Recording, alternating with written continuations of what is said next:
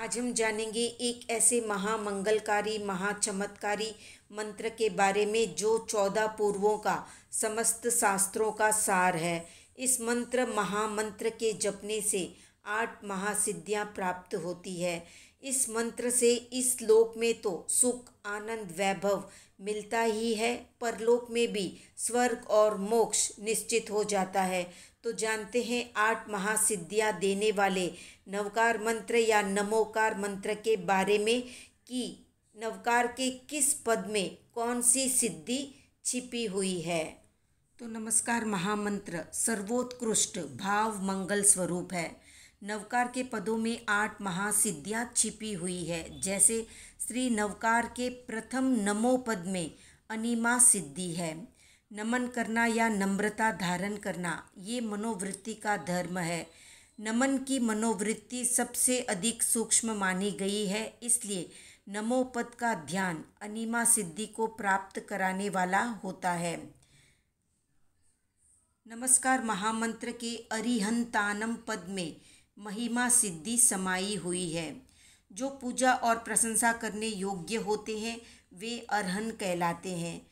पूजा और प्रशंसा का हेतु होता है अरिहंतों की अर्हता और महिमा।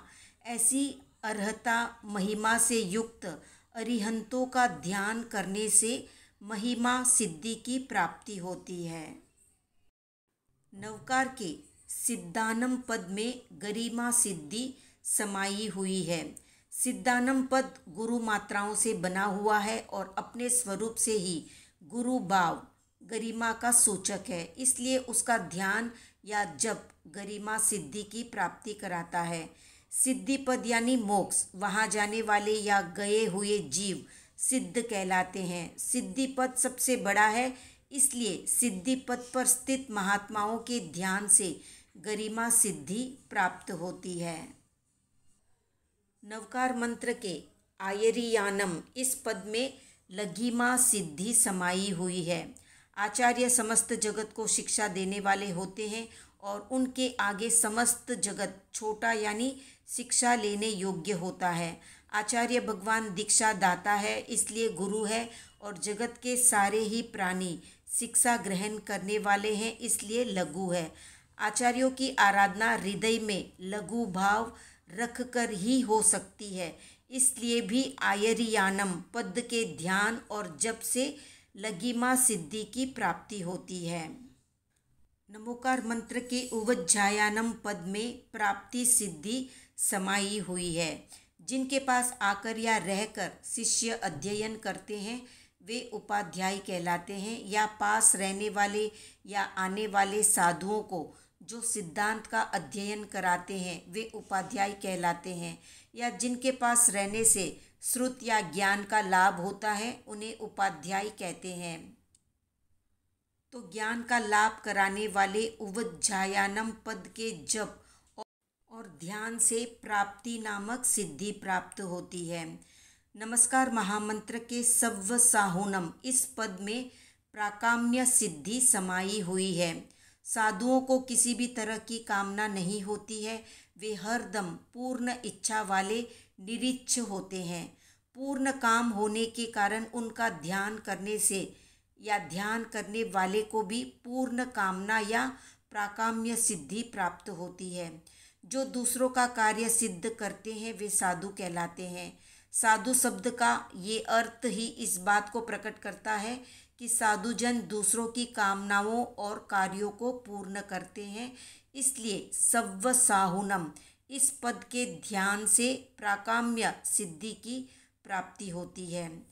नवकार मंत्र के पंच नमुकारो इस पद में ईसित्व सिद्धि समाई हुई है।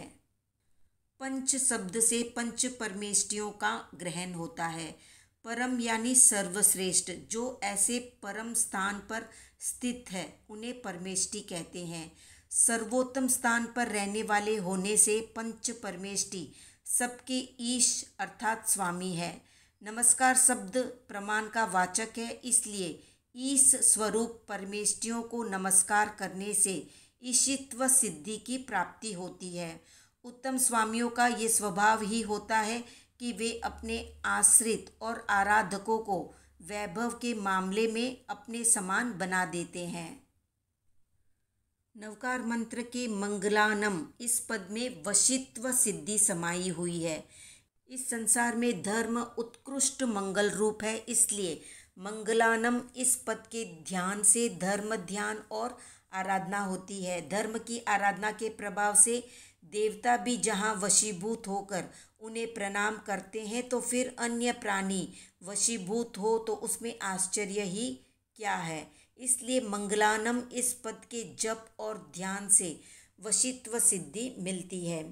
मंगलवाच्य पदार्थों की संख्या आठ होने से मंगल शब्द आठ संख्या को सूचित करता है। जैसे बाणों की संख्या पाँच होने से बाण शब्द से पाँच की संख्या का ज्ञान होता है और नेत्रों की संख्या दो होने से नेत्र शब्द से दो की संख्या को ग्रहण किया जाता है। उसी प्रकार आठ संख्या को सूचित करने वाले मंगल शब्द से वशित्व नामक आठवीं सिद्धि को सूचित किया जाता है। इसलिए उसका जप और ध्यान वशित्व नामक आठवीं सिद्धि को देने वाला होता है। तो ये थी आठ महासिद्धियाँ देने वाले चमत्कारी नवकार मंत्र से संबंधित संक्षिप्त जानकारी। मंत्र जब से अगर आपके जीवन में कोई चमत्कार घटा हो तो वो आप हमारे साथ शेयर कर सकते हैं। तो कितने लोग उठते ही नमस्कार महामंत्र का जप करते हैं, कमेंट में बताएँ। वीडियो पसंद आया तो लाइक शेयर सब्सक्राइब करें।